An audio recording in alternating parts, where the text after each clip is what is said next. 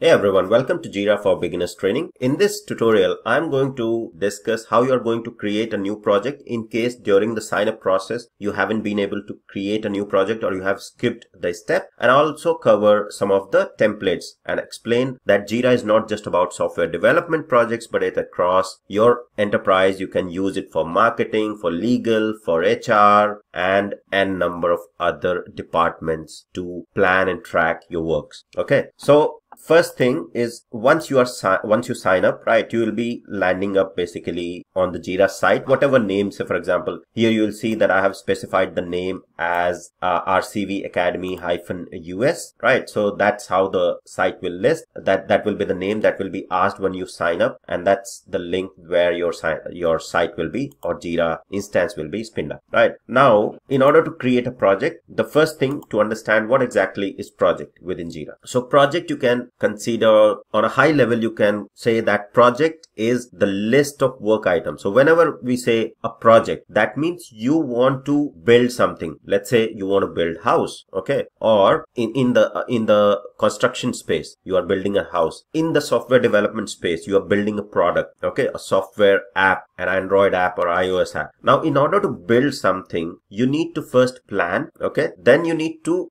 drill down and during that planning, you plan the high level of tasks that need to be covered, that need to be completed, right? So planning and then during that planning, making sure that what all you will need and what all tasks will be required in order to complete this particular work. For example, building the house, right? So planning, you define the floor plan, you define the architectural plan, right? That's more of a planning. Then procuring the raw material, then procuring the people who are going to work, right? Basically having or hiring the team that is, that is going to build that particular product. So all of these are the work items that need to be completed in order to build the team, to plan it. And then once the team is there, then you have the tasks to complete so that your house gets built, right? So for example, task of building the windows, task of building the walls, task of building the, the, the floor, right? So all of that is the tasks or the work items that will go into a project. So a project is a list of tasks or to-do list that need to be completed. So you have the end product, whether it's software development, whether it's your construction, whether it's something else, right? So within the project, you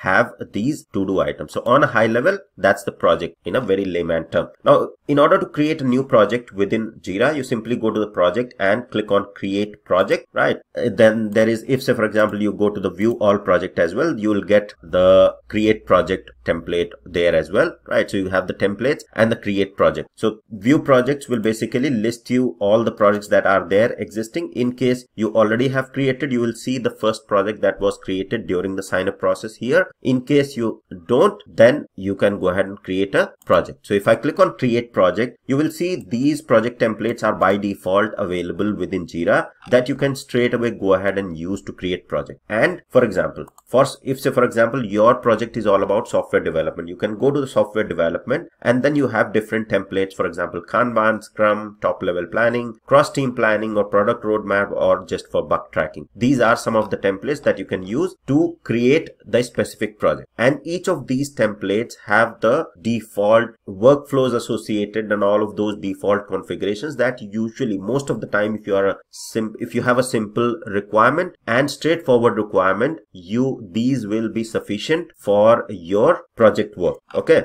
If you are a service management uh, project, you can go ahead and click on service management template and choose accordingly. All right. Now there are some premium templates or basically some of the templates which are not available in the free account, but there for learning Jira, free account is more than sufficient. Even for using up to 10 users, if you are a small enterprise, this is the best tool to use and be more productive and efficient across your small enterprise. Then you have product management, marketing, human resource. All these sections are there that can be used depending on what your enterprise or what your requirement is. If you are just operations, you are legal, you have these different templates available that you can go ahead and choose and then create the project accordingly. All right. So as of now, what I'll do is I'll mostly cover Jira software. So it will be software development and I'll cover Kanban and Scrum. So let's go ahead and create a Scrum project. So I've chosen the Scrum template and I'll say, okay, use this template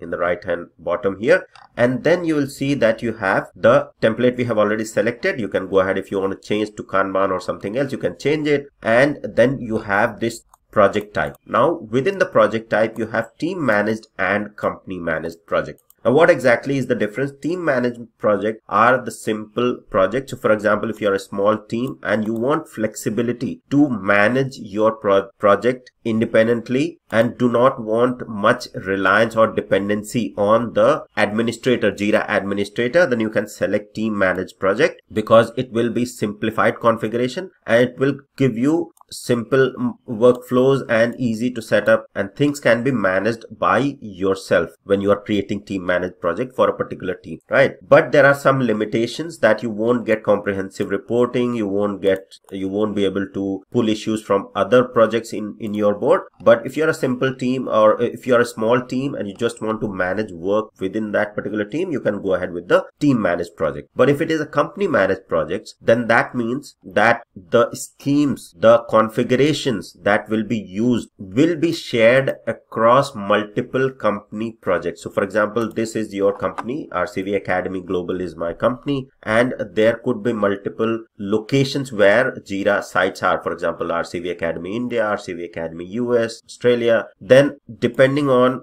the sites the company managed projects will be across different sites and jira administrator will have the common config can set up common configuration across all locations based on schemes right? Now that scheme is the jira admin admin task and that's not we are going to go ahead with but i'm just explaining you that you can you know that what jira admins will do and if you are selecting company managed project that means you will be sharing the configuration with the enterprise schemes and configurations that will be shared by other projects as well okay it's not always uh, necessary but most of the time if you are using company managed project the company administrator or jira company jira administrator will be managing the project configurations for you. But it requires expert configuration. So as of now let's go ahead and select a team managed project okay? And then we'll have a company managed project which i have already created and i'll show you the differences. So i'll go ahead with the team managed project which will which will give us more flexibility and i'll say in the team managed project i'll say rcv academy android app okay. So and then access level. So here in the access level you you can specify only admins and people you add to the project can search for view create or edit. So you can choose the access level in here or you can keep it limited. Anyone with access to rcv academy us jira site can search or view or you can keep it open. That means anyone with access to us can search and view for right? So i'll keep it a little limited and then click on next. And here you go. The new project that we just created RCV Academy Android app got created. And then you will land up here wherein you will see the board. This is the board default board that you see to do in progress done right? And then in the left hand side you will see timeline backlog calendar list etc issues which I'll cover in the upcoming video. So this is this was more around introduction of the uh, project what exactly the project is and then how you are basically going uh, to go ahead and create a project different templates okay? And because we are, we'll be learning mostly jira for software development uh, but you can correlate same concepts for other domains as well. It's not going to make much difference. So we also understood about you know creating project template etc now in next video from the end user's perspective i'll cover some of the key terms that will be helpful for you to use jira in future okay? So that's all for this video. I hope it was helpful. See you in the next lecture. Thank you